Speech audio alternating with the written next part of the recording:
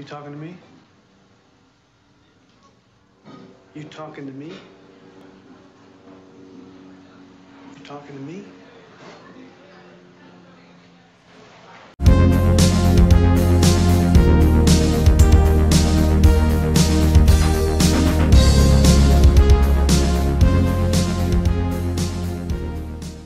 Hey guys, welcome back to the channel. Clearly I am by myself today, but it's all good. My partner in crime should be back next week when we review Joker. And speaking of Joker, I know the hype around this movie is insane. Personally, I'm so excited. I think Joaquin Phoenix is going to deliver an Oscar-worthy performance, but that's not what this video is about.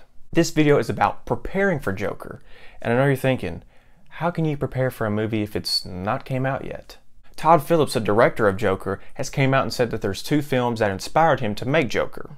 The first one being The King of Comedy, and the second one being Taxi Driver. Guys, I know this is like kind of a movie sim, but I've actually never seen Taxi Driver.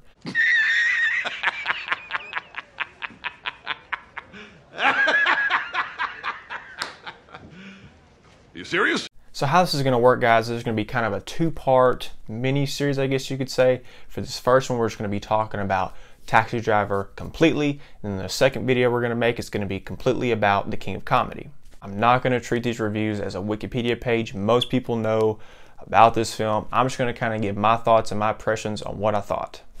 As a first-time viewer of Taxi Driver, overall, I really did enjoy this film. I'm not a huge Scorsese fan, but I enjoy a lot of his movies, right? I gotta say, Robert De Niro gives one of the most unique and memorable performances as Travis Bickle in this movie. Travis Bickle is probably the best visual representation of an anti-hero I can think of in cinema history. Most of this movie is just a detailed look about how this man interacts with the world around him or how much the world interacts with him. Another great thing about this movie is Scorsese just puts you into this mid 70s New York environment and it feels realistic and it never lets up. There isn't really any complaints I have for this movie overall. The more I think about this movie, I really did enjoy it. So my mindset was to kind of figure out what Todd Phillips might have grabbed from this movie and put in his own movie.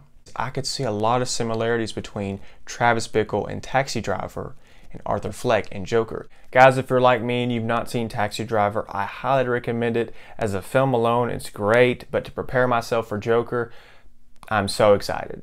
Really quick guys, I just want to remind everyone again, next week we're going to be doing kind of a similar video preparing for Joker, the king of comedy. Thank you all for watching this short review on Taxi Driver. I appreciate you checking in the channel and we hope to see you soon.